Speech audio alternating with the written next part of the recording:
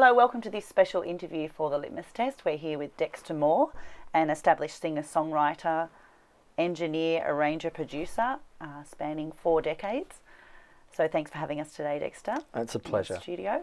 Yeah. Um, we just wanted to ask you about Manchester, being born in Manchester. Yes, Manchester, England, England, as England. they say, is where I was born. Stockport, to be precise. But um, yeah, it's uh, you know, it's it's uh, a place that's always uh, deep in my heart. Although I've not been there for a long time, I'm hoping to get back there quite soon. Um, but it was very, very early in my life that that uh, music presented itself. Um, I am told uh, by my mother that I approached her at the age of five saying, I need to learn my craft. So, you know, where I got that from, I don't know. Which was singing, acting, dancing. Um, Singing, acting, dancing, performing um, at that stage. Uh, and I was passionate about it. Um, I, I'm told also that I sang in the cot, which is interesting because I remember when I was told that, I, I could I, I, I pictured it in my mind and I thought, yeah, you know, I remember lying in the cot and there were these birds on a string. And I thought they were singing as, as an infant. I thought they were singing, but it was actually me who was doing the singing. It's just a wild kind of thought. Wish we uh, had a recording vision of that. from the past. Yeah, um, but there it is. Um, I, I can I can kind of verify that from from uh, you know very deep in in my infancy. Um, so, what I like to say and what is very true is that music chose me, and I've followed ever since, um, happily. From your family as well? Influence from your family? Not really, actually, not really. Uh, there were there were aspects um, of of interest from from my two other brothers, my two elder brothers. Um, my uh, elder, elder brother Gary, who played bass, and we we played together for a certain amount of time, and my eldest brother Martin, who played guitar. And we played together for short periods, and he's actually now just taken back into uh, playing music and singing, and he's become really passionate about it. And it's really, I've seen amazing change in him uh, by doing that. It's really quite remarkable, beautiful to watch the power of music. What Uh, age did you start playing together? we started playing together around about 10 or 11 is, is when the three of us did, did our kind of Bee Gee thing. Yeah. Didn't last long because um, Martin, the eldest one, he was college ducks. Uh, so he, he went on to university and he, he got very seriously involved in, in his career at that stage. Um, but uh, I started playing, my first instrument was, was um, a uh, nylon string banjo. So uh, it was a very interesting instrument, you know, uh, a ukulele or a, you know, whatever you want to call it. Um, Banjolele. uh, banjolele is, is a beautiful name for it, actually. Um, and uh, six uh, years of old and uh, years of age, and I, I, um, I learnt the chords myself, and um, as with all instruments, I, I taught myself um, how to play what I wanted to play. I spent a lot of time in, in my youth um, on, with the record player, um, in the front room, most every day, just playing records And banging pots and pans? and banging pots and pans. Yeah, the the, the pan lids. yeah. I was banging the pot lids, and, and I think that's why my parents um, bought me a, a snare drum and a cymbal, so I could do it properly, and it wasn't actually such an annoying sound. Right. Um, but yeah, you know, I was I was fully into it. I did my first RSL when I was six years old. Did you? Yeah. Wow. You're allowed in. I was allowed. you know, in. there was no. This is England, um, and and uh, I I was doing shows with with these couple of older guys uh, who were kind of vaudeville type acts, doing songs like "Me and My Shadow," and I was the shadow, and so we do these choreographed routines, uh, you know, a bit like uh, you know uh, Bob Hope and and and. Uh, you know the class, um, the Fred Astaire kind of things. You know, Right. um, but the song, the song I did uh, solo at six in the clubs was "King of the Road" by Roger Miller, right? Which is kind of prophetic for how my life became a, a, a decade or a decade or so later. But um, I remember quite vividly um, a line in the song, uh, "Trailers for sale or rent, rooms to let, fifty cent. Uh, no phone, no pool, no pets. I ain't got no cigarettes. Right, And I'm singing away after singing that, and this guy walks up across the dance floor, reaches up to give me a cigarette. I'm six years old, you know. And uh, so I take it, put it behind my ear, and keep singing. you know, it's it's the the vaudeville um, thing was a, a, specific kind of thing. Like everything is part of the show, and you just, you know, you don't deny it, you use it, and That's so on. good to learn to roll with it at that age. For sure. You know. Yeah, and I had I had great yeah. trainers in, in, in those those two older guys who who I worked with. Um, and, and Was so, that through theatre as well? Did you work with them in theatre? Yes. And, yeah. Yeah, so uh, we were doing um, operatic society productions of The Music Man and Right. uh, The Littlest Savage, of, of which I was the Littlest Savage, and um, you know various productions uh, like James Dean thing. Uh, you know, I played a James Dean role, and um, I, I just loved it. I absolutely ate it all up. Uh, um, the first thing that, that my mother did when I said I want to learn my craft um, was she sent me off to ballet, tap, and jazz lessons. So I did those three disciplines from the age of five. Um, it didn't go down well uh, at school, in an all boys school in the 60s, uh, when the family had emigrated to New Zealand, and I was a Pom as well, who did ballet. Right. I did not have a very easy school life. So by now you were like a bit older, like eight or nine, um, or ten. yeah, I was uh, 10 ten. when, when the family emigrated Right. from England to New Zealand. So it sounds like you go back and forth, New Zealand, Yes. Manchester throughout yes. your life. Um, uh, yeah, up until I came to Australia, and I've stayed in Australia since I've been here. Right. Uh, Which was when? 87. Right. Yeah, 87. Um, no, I tell a lie. I, I did go back to New Zealand briefly, um, but uh, pretty much just uh, up and down the coast here, over to Brisbane, Perth, uh, Adelaide, uh, Melbourne.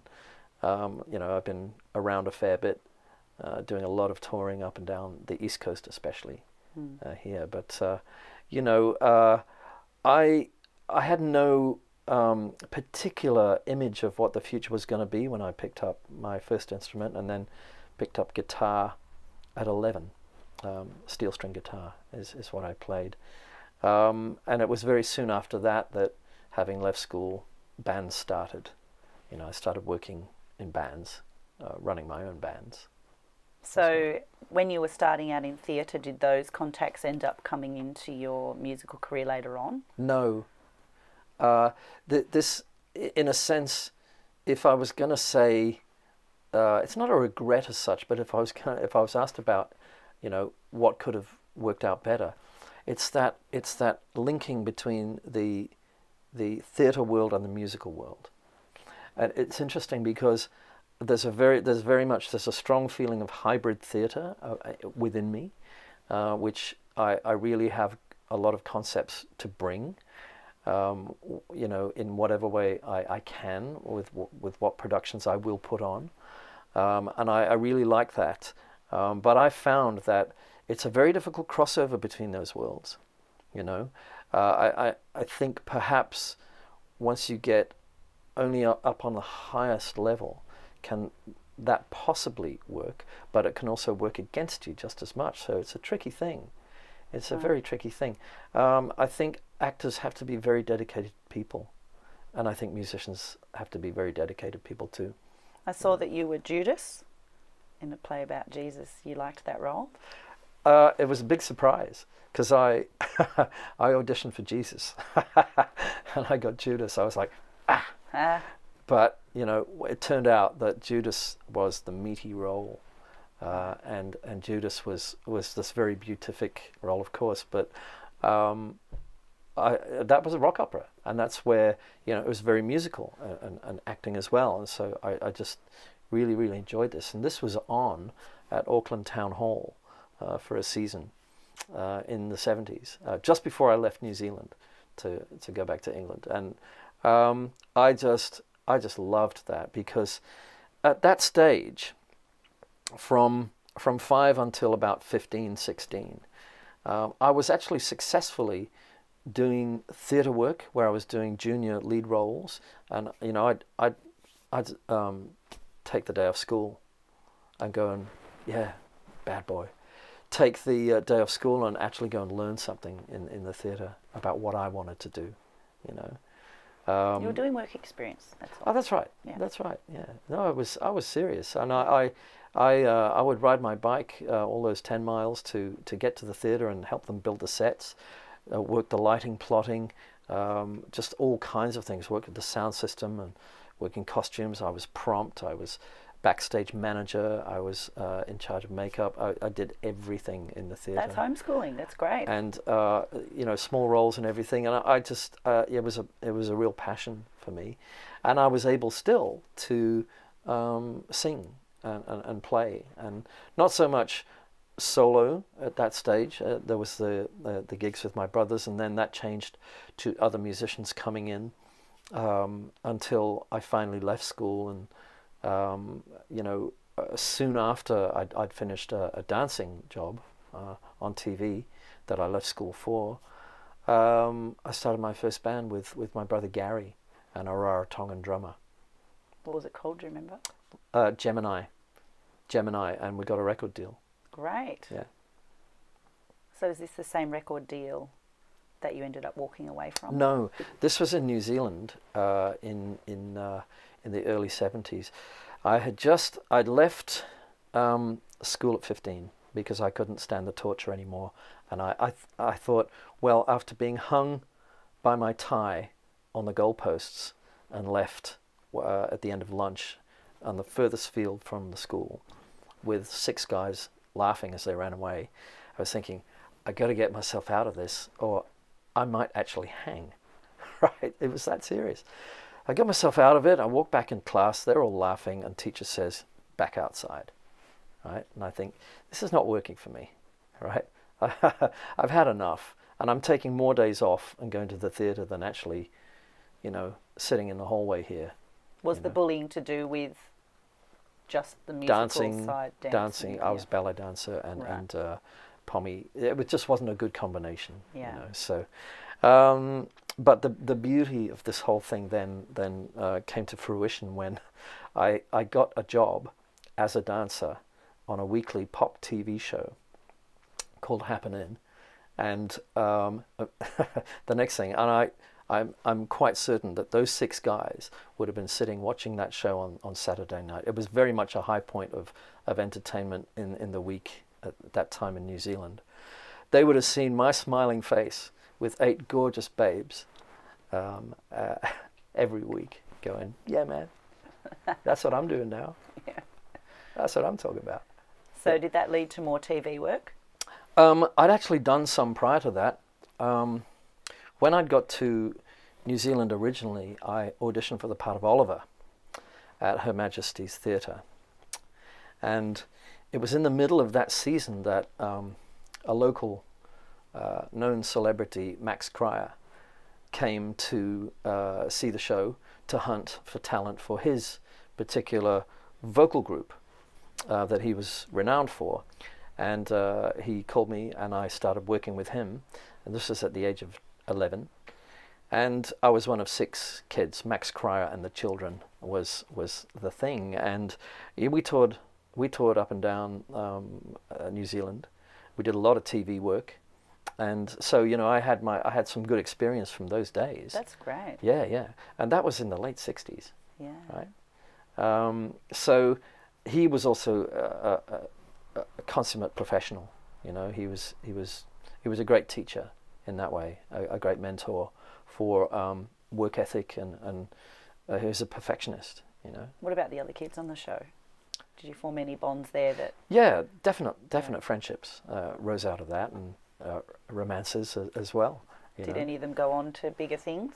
Um, as as Max said, um, all the kids he picked went on to do big things, you know, and uh, you know he he he read through a bunch of people who he had previous to us, and this person's you know over in New York doing this thing now on Broadway, blah blah blah, and so on and so on, and uh, you know he he definitely he picked his people very carefully you know, and he, he treated us really well. So it was a great experience, and I, I got TV experience through that. So Happen Inn as a dancer was just a, a, a very easy thing to slip into, you know, and also also another great experience because dancing like that, it's a mixture of, of theatre as well and, and performance. So, um, you know, I was happy there for a time, but, you know, I, I started to miss uh, being the person being danced around, if you know what I mean. It was great to, to be the dancer, but I knew I wanted to be the singer like, like the people I was looking at the back of. Right. You know, so. So you're more the performer. Mm, Yeah. Mm, uh, and uh, singing, singing. I, I, I just needed to fulfill that passion of singing. So um, I started uh, rehearsing up a band with my brother Gary, and we we found a, a drummer who was a, a Rarotonga guy, Paul Paul Kiner, was a fabulous cruisy guy, and we uh, we started doing gigs, and um, you know What age was this? this this would be So when you uh, left at 16, 15 or 16? Yeah. yeah. And uh, my my mother and father were, were right behind this. You know, uh, they they uh, they helped um, costume the band. Uh, Dad was managing the band. Uh, we had a, a trailer uh, that that we drew behind the, the transit van, so we could we could get changed, and that was an office as well as a changing room. It was very well Became a family business. It was. It was a family business, and Dad Dad was very happy to you know manage, and you know Mary took care of of uh, you know uh, accounts, uh, being an accountant, and and uh, dressing the band. So we always looked sharp, uh, and uh, it was a professional, slick kind of unit. We got a record deal in in Auckland uh, through that process, and um, the band changed from a three piece to a five piece, and became Lee Patrick and Gemini. Lee Patrick was me at the time, uh, a stage name, and um, it was a five-piece band. And we had we we ended up with three singles in the charts in New Zealand. Great. What Yeah. years were they? That would be seventy-two to seventy-four. Cool. Yeah. Have we got any footage of that? Have we got any?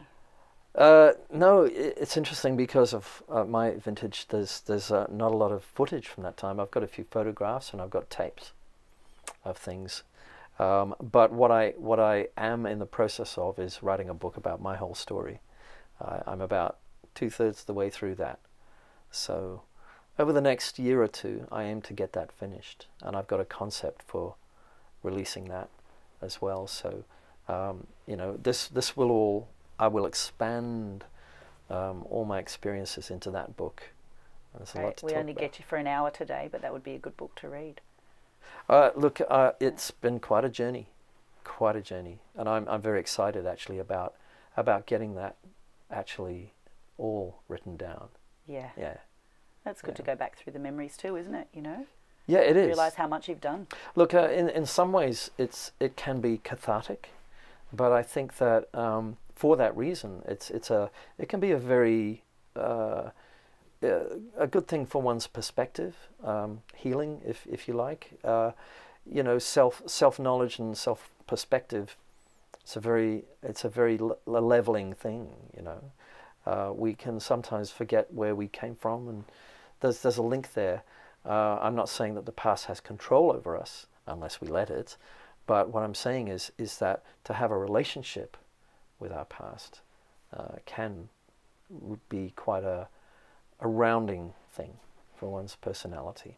So let's uh, go into your band history. So Okay. not so much solo, but band.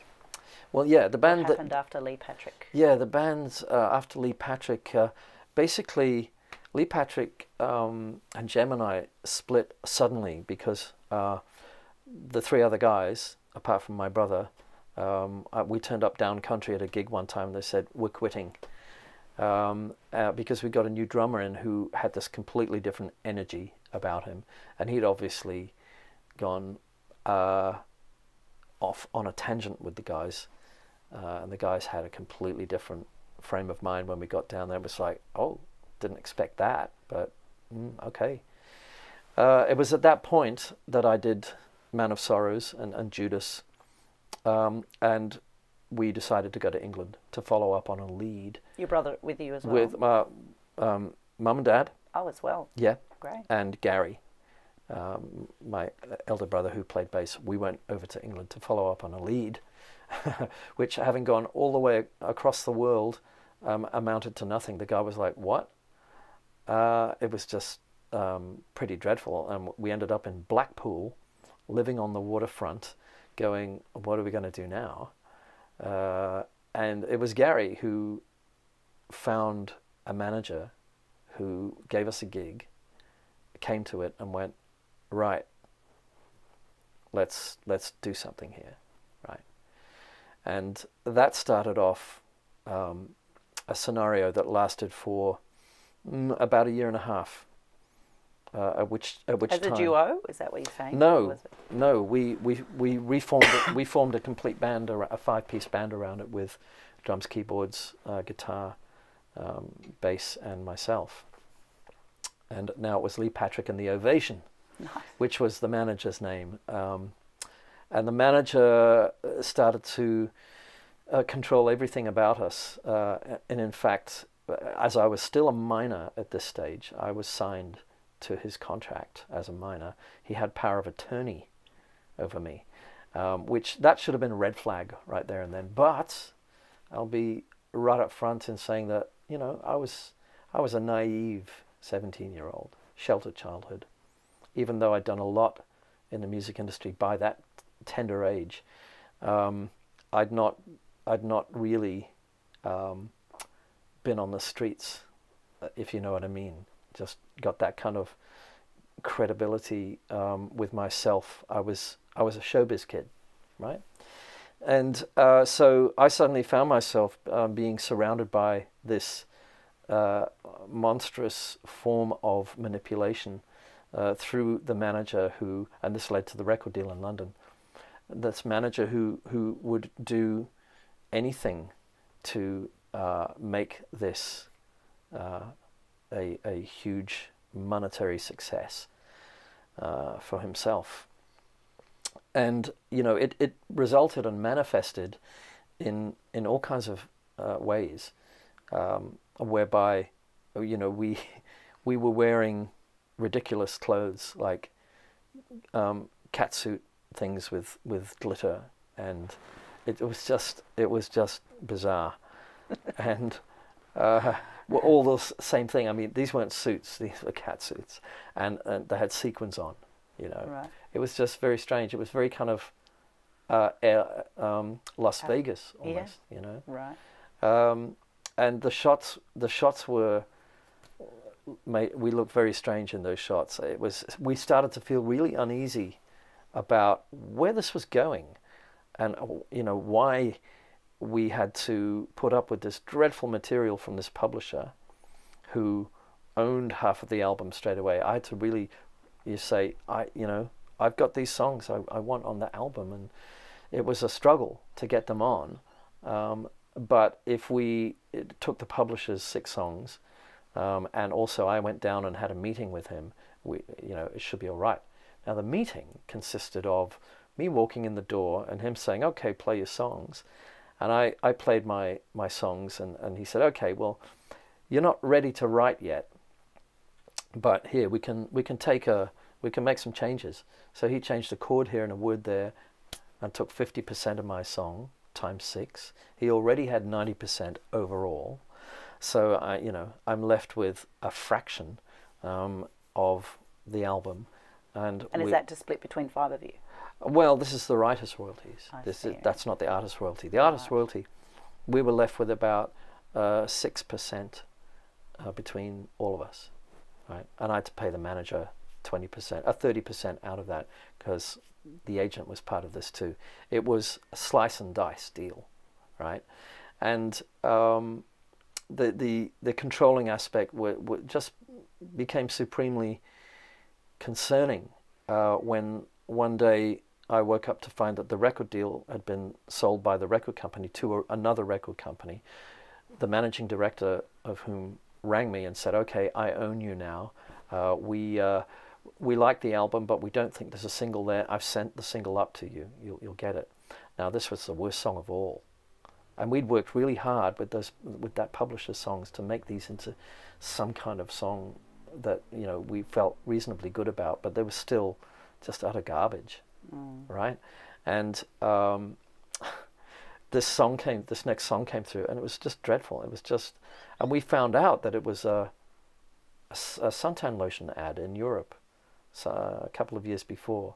Rub It In, the song was heard. Uh, the song was called, and um, just a weird little thing is I was telling the story to someone about 10 years ago up in Noosa, and as I was telling them the story, that song, which I'd never heard since, came on the radio. It was just bizarre.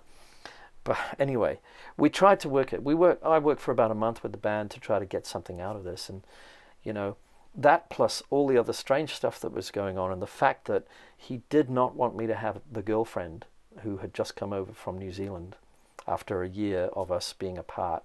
He did not want her in the picture at all, and he did everything he could to get her out or get me distracted. Uh, it was, it was, it was not healthy. It wasn't good, um, and. Uh, So you walked away from that deal. I I woke up one morning having worked for about a month with the guys on that song and being very concerned about where things were at and just the fact that you know we were working in really really difficult conditions um, and, and for pennies uh, and something in me just went no my instinct just said no and I thought I hear that and so I rang him up. I said, I'm not going to do it anymore. And he freaked out. Of course he did. And uh, I, you know, I, I knew I had to follow this feeling um, because something something had had been um, ar- aroused in me through finding um, meditation and yoga and Tai Chi. Oh, I hadn't found Tai Chi yet, but I, I discovered Eastern philosophy, and um, I was feeling that this was all such such a, a world of illusion that was that had built around me, and I I just you know got to this point where I thought, what's going on here? What's important? Like what like what's in this for me? I'm just getting used and abused here, and it's only going to get worse. So you know, I, I made my decision that uh, I wasn't gonna I wasn't gonna go ahead. And uh, long story short, uh, I did end up losing my girlfriend through the process of making this transition, and I was also threatened um, uh, from one of these sources um, and told that I would never work in Eng- England again, or at least for two years. Um, and I thought, okay, well, I don't have to work in England. Um, and I'm not really impressed with what's happened here. Um, what I am impressed with and always have been is music. And what's clear to me is that I need to discover myself on a deeper level, that that door is opened up. I'll follow that. And I've been reading, um, I've been reading Jack Kerouac on the road. And so that's what I did. I either sold or gave away everything I had, uh, or, apart from a guitar. What I couldn't sell, I put in a big plastic bag, and I went out on the road on the street where I live and went, Everybody, there's free stuff here. And people came out of their houses, right? And everything went, even a skateboard, right? All gone. And I thought, cool. And um, just before I got that, and just before I went on the road, something happened whereby a contact of mine asked me to play lead guitar in a band supporting AC/DC Wow. on a British tour. Wow. So this is like this is this is show business. Timing. Um, and you know, next thing I found, I'm I'm going around England, 26 major gigs in 30 days with AC/DC, with Bon Scott. Wow. Right? It's just like wild. And man, they rocked. You know, um, I, I I have to say that even though that's a band that rocked and they're a classic, awesome rock band, I was moving in different musical directions, so I wasn't really kind of locked into that. I'd I'd kind of moved away from my, my any heavy rock influence. I'd discovered, you know, the session the great session musicians and people like Jaco Pastorius and Latin American music and, and those those beats and that sophistication of of um, counter melody and counter rhythm. Um, and this is what I wanted to take on the road with me. I discovered nylon string guitar, and it was all part of moving into this uh, Eastern philosophy um, that, that was sweeping over me.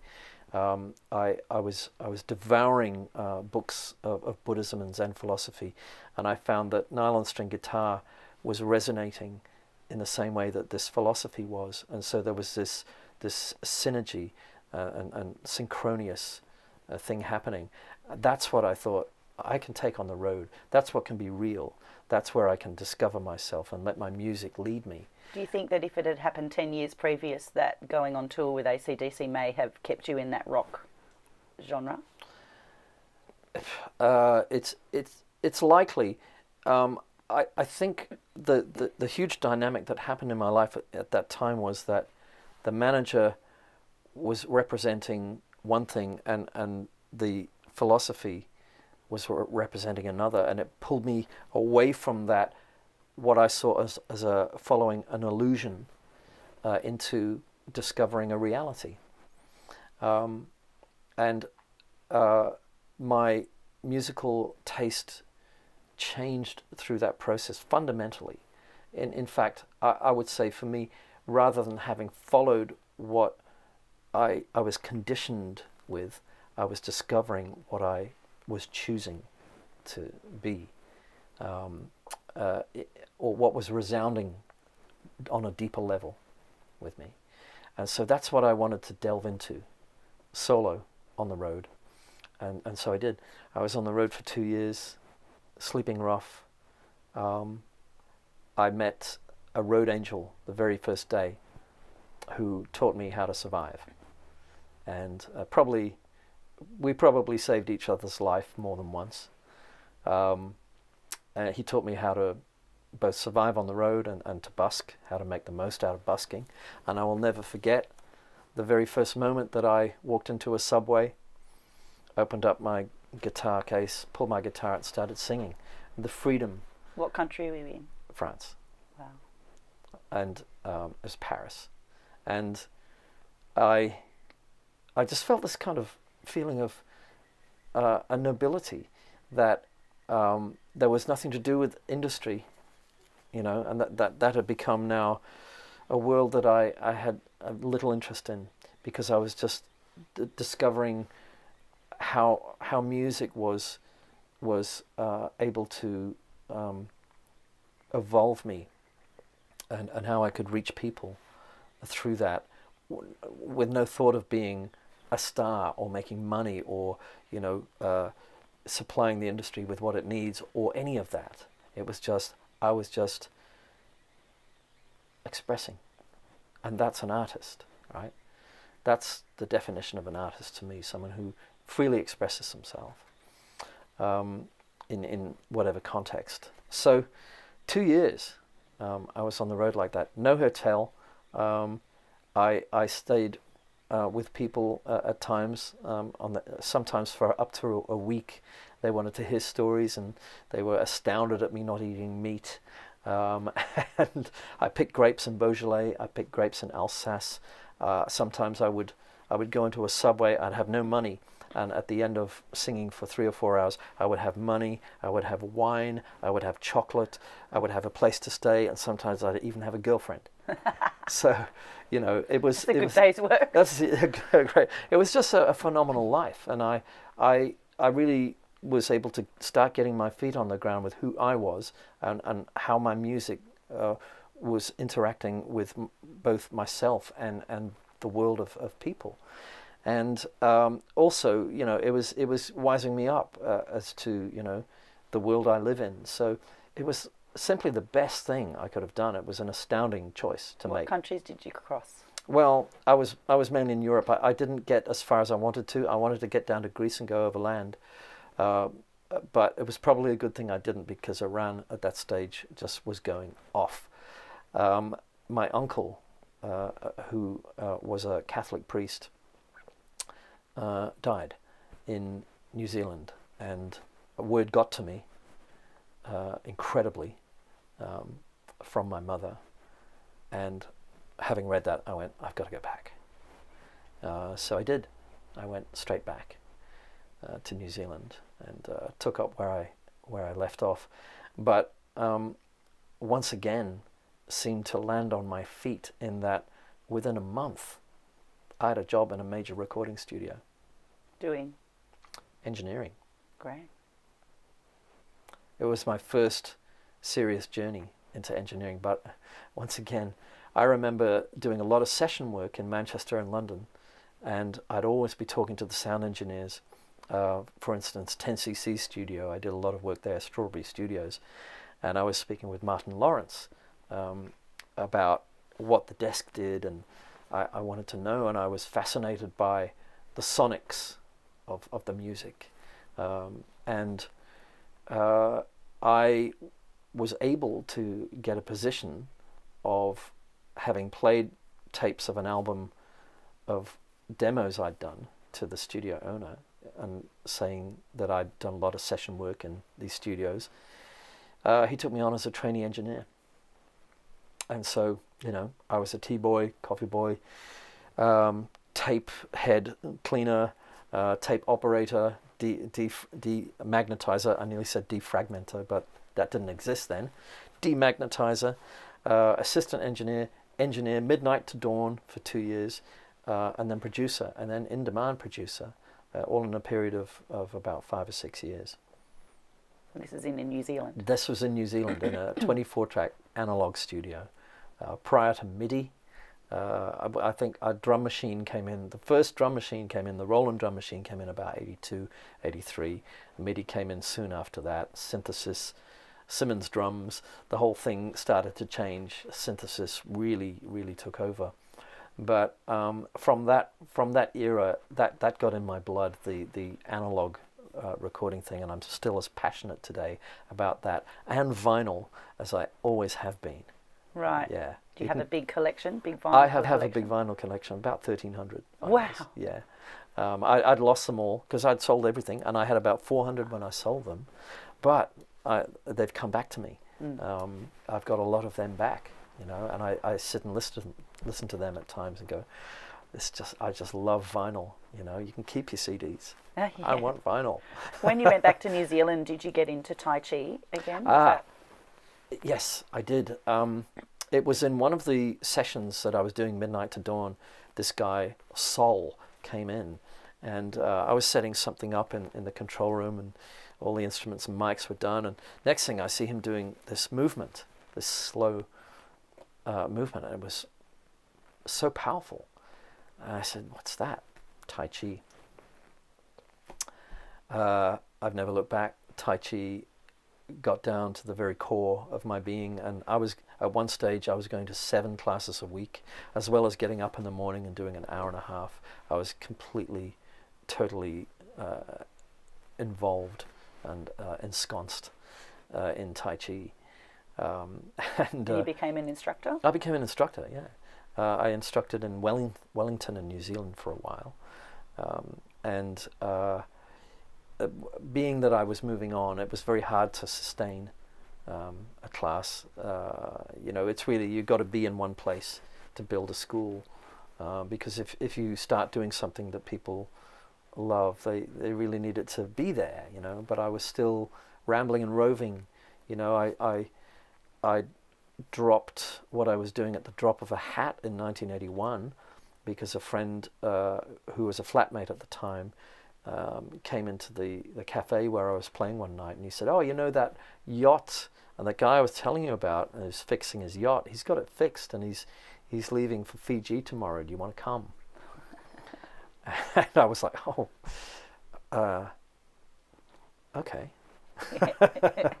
right. It wasn't so. I mean, I what I did was actually, in reality, I grabbed a bottle of wine after I'd done my uh, finished my gig. I walked down to the wharves, had the bottle of wine, and thought about it while I drank. And that night, I called everyone who I was involved with with things at the time and said, "I'm going on a little trip. I'll see you in a month or two. And six o'clock the next morning, I was at the wharf, and we sailed. Wow. 42 foot ketch, four people. We ended up at sea for three weeks, going from Auckland, heading to Fiji, but the wind was coming straight from Fiji, so we ended up in Port Vila. We came through two major storms, and were becalmed for three days as well. And uh, I was on watch one of those nights when the storm hit, and it was it was radical. I was nearly over the side. I had a safety harness on, luckily. Yeah. Uh, but we had to take the storm jib in, jib in from the front, the, the Genoa, and we had to replace it. While we did that, we broke one of the forestays, which went around. I mean, it was serious. Um, and uh, we got through that fine, and then we were becalmed for three days, where um, it's just like being in this blue haze. You don't see a horizon. There's no horizon uh, because the sky and the sea are the same color, and it's kind of hazy. So you're in this blue void. Wow. You know, and I, I've I've uh, I've written bits of music there and some poetry uh, from from the power of the ocean. It was just an amazing experience. Um, so I, I island hopped a little bit. I ended up at Port Vila. I got a job the day I arrived. Within an hour or two, I walked into a five star hotel and I had a job uh, playing guitar and singing straight away. And I, I was there for about three months. And it was, um, it was, a, it was almost like a rebirthing experience being in this, this different culture of the semi expatriate French thing, which I loved, and, and these beautiful Melanesian people. And, um, you know, and I was just kind of drifting away on that. Next thing I go to call, my father's had a heart attack. I'm on a jet, I'm straight back to Auckland, complete culture shock. Um, um, and then, you know, I'm on the road with the band playing drums. I'm uh, on a motorbike while the band is in a car and, and the crew is in the truck. And I'm on a motorbike going through the gorges, drumming at night. And drumming becomes like motorbike riding, becomes like drumming. And, you know, uh, then I'm touring with the band playing keyboards and percussion and backing vocals. Uh, then I'm touring with the band doing sound, setting up the PA, tuning it, um, all kinds of uh, everything. Um, until I hear that the pressing plant closes in Wellington, and to me that was a that was a red flag to say it's time to maybe move. And I ended up in Australia. Right. So previous to that, with all your touring experience, what's the funniest gig you've it's quite it's quite easy. Um, there, there was this wonderful festival in New Zealand called Nambassa, and uh, I I was down with some friends staying in in their trailer. Um, I had a gig there, uh, and it was absolutely gorgeous. And, and to me, this was like this was the the epitome of the best new age, uh, but not just new age festival, uh, music festival with, you know, wonderful massage and vegetarian food, beautiful uh, uh, facilities in a wonderful valley with this just pristine, crystal clear water river running through it. And we were upstream where we were staying, so you know we got the icy stuff. Um, and so you know, in the morning it was like in the river, you know, on with the sarong, go and play, go and listen, go and see a movie at night, allegro non troppo, in, in midnight, lying on the grass, going wow you know. So I did my set on, on the second stage, um, just acoustic and, and, and uh, vocal. And uh, it was the big night, and uh, I was hanging around, and my friend was the stage manager on the main stage. And uh, I just went up to see him and uh, say, How's it going? And there was this big dispute. Um, there were two major artists, one of whom was saying they were not going to go on unless they got paid up front right? So, and there are 40,000 people out there, like going, where's the music, right? There's nothing happening. And um, then also, um, Dizzy Gillespie is there as well, and he's like, well, you know, if they're going to get paid, we should get paid too, you know? Uh, so the dispute is going on, and, and the people running the festival is, uh, are there trying to sort it out. Uh, and he turns around to my friend, the stage manager, says, somebody's got to get on and do something, right? my friend goes, My friend will, here's a guitar, go.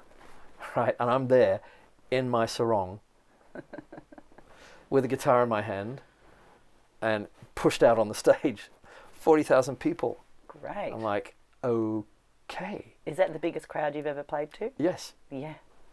So um, I'm just making it up as I go, and I I, uh, I end up supporting Dizzy Gillespie in a sarong in front of 40,000 people. It's very cool. That's cool. Yeah, just wild. Why not?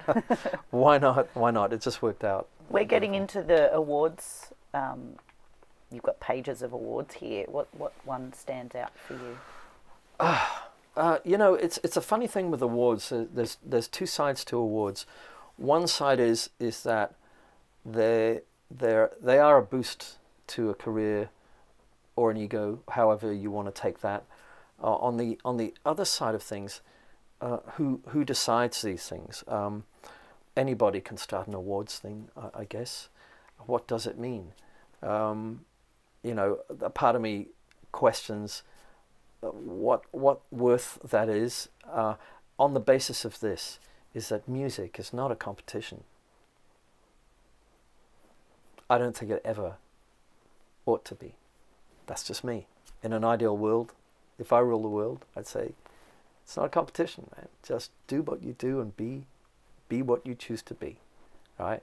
And nobody can do you better. So uh, it's just me, you know. So part of me is like, oh wow, I got an award. That's wow, that's great. That's cool. Another part of me is going, okay, um, but I'm just happy to actually just be getting up in the morning and playing music, you know. Uh, That's your biggest award. Um, well, in a, in a sense, yeah. Yeah. You know, just to be living the life I live where I, I now have, um, you know, a wonderful facility of my own and just to be able to go and do a concert uh, with, with some people like Liz Stringer and Lucy Thorne on the weekend where people sit and listen and, and listen to my stories and listen to my music. I mean, it's just such a wonderful thing to be able to do um, that, you know, I'm just full of gratitude for that. That's that's the award. That's the real award. But the award, if an award does stand out, it's this: uh, New South Wales gold in, in Taekwondo in 2005. Mm. And um, it's funny because it was only it was about five years prior to that that I saw someone doing a demonstration when I lived up in Noosa, um, and I'd never done a hard style before. Tai Chi was it, and I'd done that for like 20, 25 years. So I I thought I need to get fit. I'm not. I haven't been doing much dancing. I'll train. I'll do some hard style martial art, and uh, I found that I had an, a hidden talent, an undiscovered talent, and that I, I very soon I rose to being the star pupil in not only that school but another school after that, and um, I was I, I became a target because of that as well. But I found I had skills through my Tai Chi, and um, they were trying to get me and couldn't. Although in one of the bad schools I went to, they did, and uh, it was really uh, nothing to do with respect and honor. What happened? Right. So I, I walked out of that school saying I don't want a black belt in your school. Uh, it's just one school, you know. But what was fundamentally um, profound about this whole experience for me was having been bullied at school. Um, I finally learnt how to deal with bullies Right. right?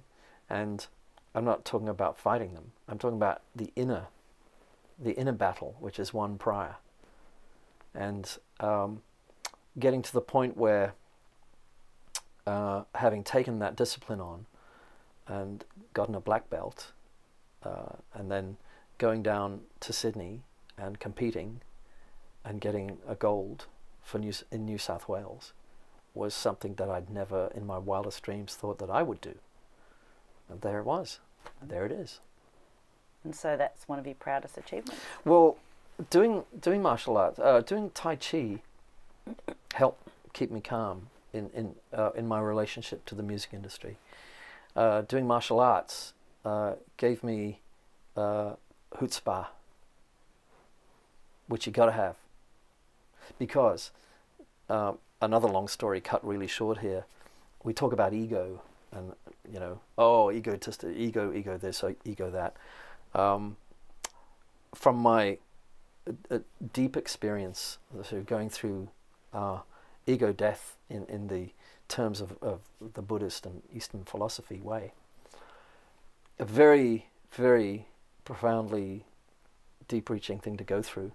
Um, a performer without an ego is boring. But I say this uh, learn to ride your ego lest it ride you. Good one. Mm. I like that. Well, thank you. Uh, I think we've covered your your career. Mm. Is there anything you wanted to add, or Um, any I'm, highlights? I'm just very excited at the moment working on my new project. yes. Um, it's it's something that having done four diplomas last year, formalizing everything that I'd already done in my, in my life, and, and, and being certified now as a teacher and lecturer in music business, music performance, and sound production. Um, through the process of doing that diploma, I I worked a business model up for myself for my latest project, which which was recorded on 24 track tape through a Neve desk in analog with a wonderful bunch of musicians and an English guru mix engineer. Um, this is going to be mixed by him. I've, I've been working on the post production of this for six months, and I'm taking it over to Abbey Road to get it cut to vinyl Wow. from there. So that's my latest project. I'm just Wow. really stoked. I wanted. That sounds thanks. Fantastic. Yeah. I wanted to ask you about Visor Guy as well. I've seen your Oh, yeah. Yeah, so Visor cool, Guy. Virtual world. Uh, yeah, it's that's been a phenomenal experience to go into virtual worlds. I, I did this in about 2006 uh, for about three or four years, um, and what that is is um, you go online into a virtual world as an avatar, but your audio can stream live. So we, we set our avatar up to play guitar, and then we stream live uh, to an audience of people anywhere in the world working their avatars, right? So their avatars are in there like at a concert, and they're dancing around and they're saying, "Good song, great to see you," and you're, and you're saying, "Oh, cool, nice to see you, mate." Um, and they can tip you as well. So I actually lived off doing this for uh, a year uh, at least, um, working in virtual worlds, playing live in my studio at home wow. right? Uh, not only that, but I, uh, through my through my time there, I came up with this concept of doing a music video, uh, utilizing the fan club, um, of which I, I, I got them all um, onto the sim one day, and they they worked their avatars doing their dance and their special tricks. I had choreographed female dancers there, of one one of whom which is is an actual choreographer in Chicago, right? Uh, synchronizing the movements, and I was there with this visor guy character, which I had created in, in Second Life. What I decided to do was to make a real life version of that, of myself in the visor guy outfit. So I had the outfit made, I had the visor designed and made, and I got I got it shot. I had Tony Mott come in, take photographs. I had it shot and, and put um, on a green screen, I put film footage of a background which I shot in in virtual world behind me in real world, so that the two were were very much morphing. Reality and virtual reality were very much morphing. So I created what they call a mixed reality music video. I'd never seen one before, and I've not seen one since. I haven't either.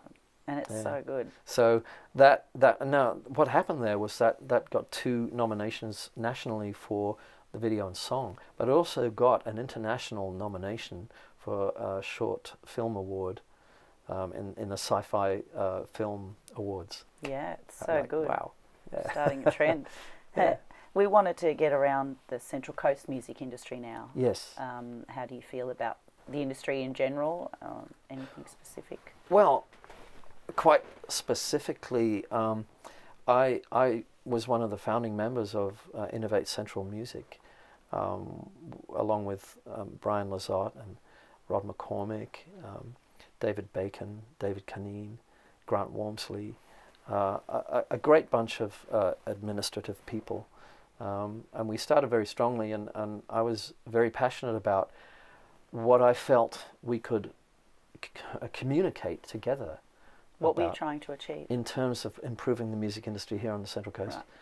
And um, you know, we I, I worked uh, at length actually uh, with with um, David Canine about how we could, what areas we could strengthen things, what was actually happening, and what we could do to strengthen things and, and improve things and involve things.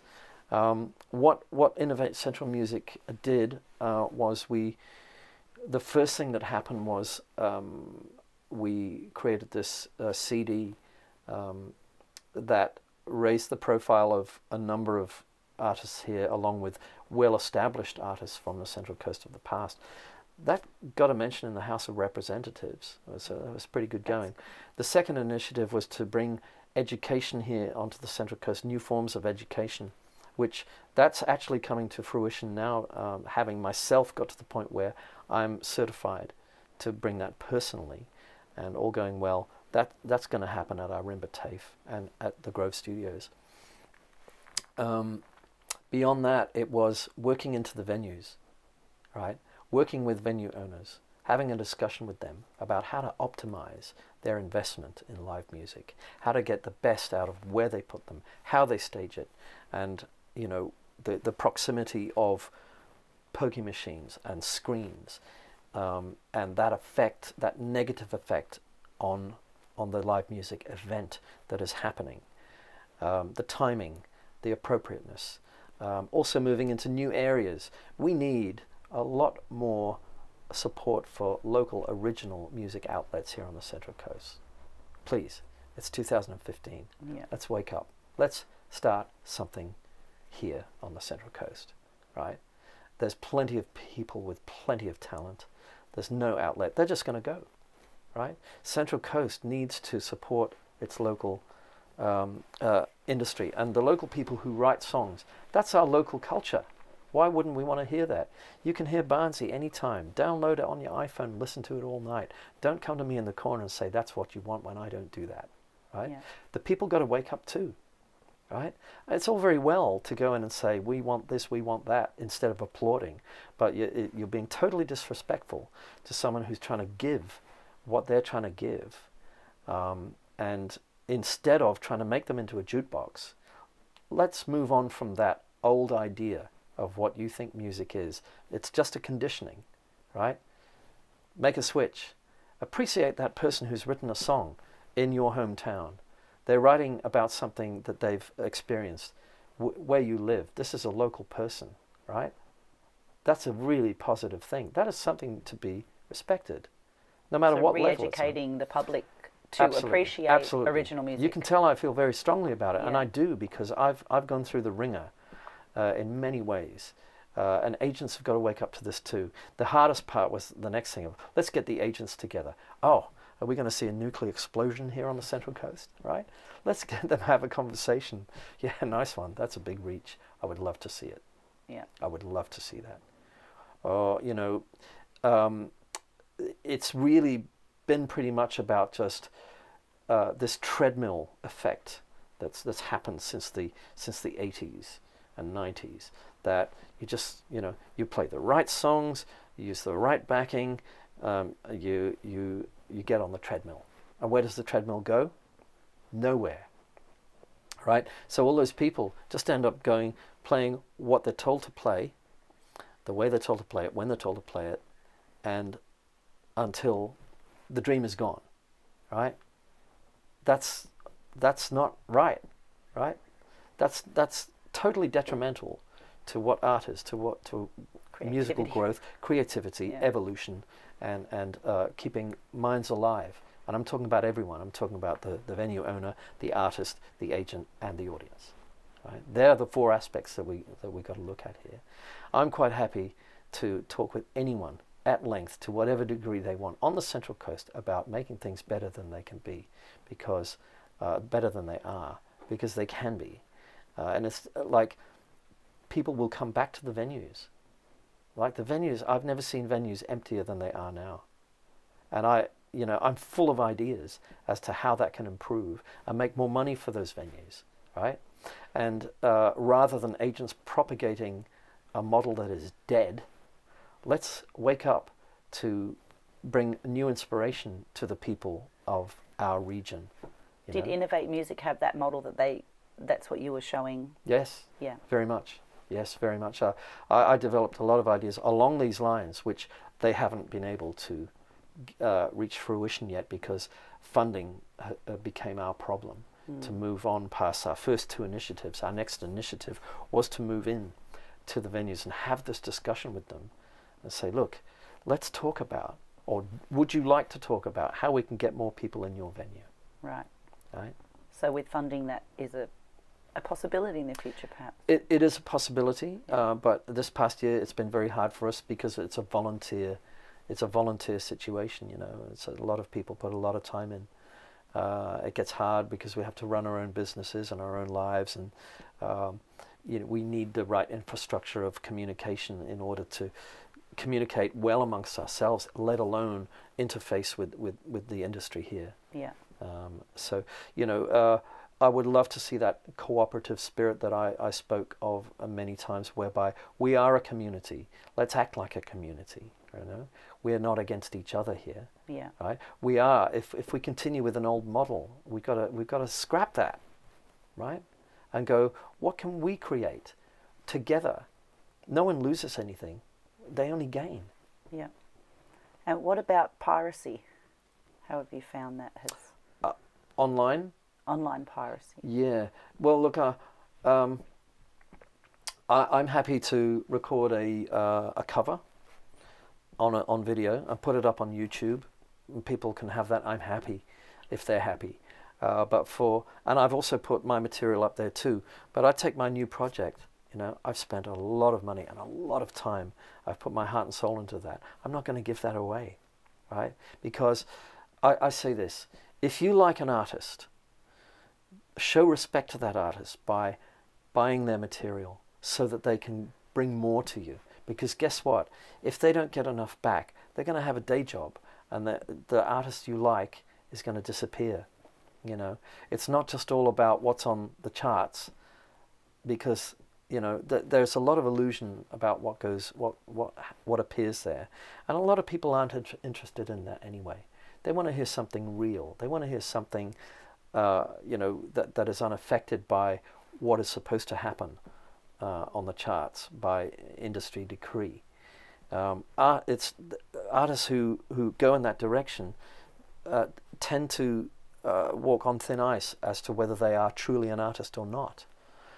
Some some are, but um, really, it's it's we make a lot of sacrifices an, as an artist, and one of the main sacrifices that that uh, you know I've also communicated to you today is that I sacrifice the illusion of what the the industry tells me an, an artist is, uh, in favor of discovering the reality of what living the life of an artist is and what you become out of that and then what you express to people. That is what reaches people. That's what stands the test of time. So, what would you say to an upcoming musician, not just for the Central Coast but in general? Uh, What advice do you have? yeah, get uh, get to grips with your uh, instrument and develop through practice. Uh, get to grips with the business because it is a business too. So, you can't Uh, just be the creative all the time. Uh, look, uh, I, I can speak from four decades of experience about being the creative, and uh, I, I, I love that and passionately have lived that. Um, but the world has changed in those 40 years, and one must adapt to changing situations outside of you. And my adaptation is I've taken responsibility for my business uh, on a level that I had never previously done before. I'm managing myself fully. I'm managing this project all the way to Abbey Road and beyond. Uh, take responsibility for your business and, and uh, do do your business well. But most of all, be honest with yourself about your abilities. Right? Raise the bar on what you're going for, get over that bar. If you don't get over it, practice. Get over the bar, then raise the bar. But be honest with yourself. Uh, that honesty is um, seeps in, it, it emanates and it seeps into people, and you make that your second nature. All you got to do is be. And is this uh, is teaching the way you're moving forward? You've got your project, but is teaching Mm. something that you're really looking at focusing on? It's interesting what's come about because it's always been for me uh, live work, live performance, and recording have always fed each other. and I've always had to do enough of each to feel good. And now what I find is I've got a third pillar in there, education. Uh, it's it's a performance art, but it's also, you know, I, I can see I'm I'm working very profoundly uh, with with people, um, and able to able to maybe put a seed of of um, inspiration and change in there, along the lines that I was speaking of, uh, because the world has changed to this point. It's not the industry that tells us what to do now. We have it in our hands. We have the tools there online as well. We have to make sure that we have the knowledge to be able to create our pathway to our dream because now we can. That's great. Yeah, and education, education, don't underestimate it. You know, it's uh, it's it's only it's only going to help. You decide. You know, you decide how, how it's going to impact you. Uh, I went into my education thinking, yeah, I really, I really need this now, and I soaked up every word, uh, and uh, it was just, it really, really turned my head around, you know, and, and I'm so glad that I did that, and I, I came out with distinctions, and I'm, I'm now teaching and lecturing. Um, it's become another form of income for me as well. So um, look, uh, music is music is a, a powerful, multi-dimensional uh, healing force. Don't forget that because to to play it is an is an honor. Uh, to give it is a privilege, and um, to make it so that it's timeless um, is is a craft. Wow. Well, thank you very much for having us, Dexter. Pleasure. You've been with the Litmus Test. We'll see you again next time.